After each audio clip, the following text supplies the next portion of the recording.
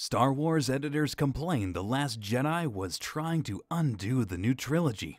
There wasn't a singular vision across the three films, which is exemplified by one of the editors of The Force Awakens stating that they believe The Last Jedi tried to consciously undo the new trilogy.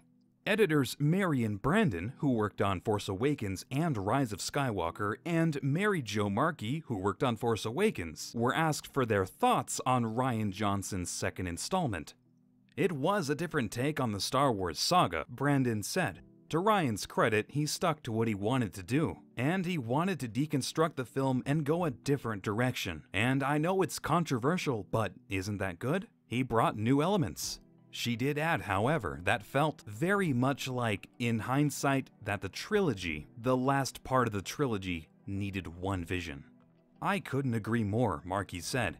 It's very strange to have the second film so consciously undo the storytelling of the first film. I'm sorry, that's what it felt like. It was polarizing and it was hard for JJ and the writer to know what to do with it. Brandon added, It's like someone else writing the middle of your novel.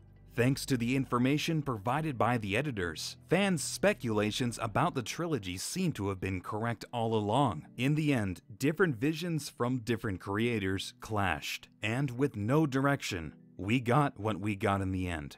The final nail in this corpse of a franchise.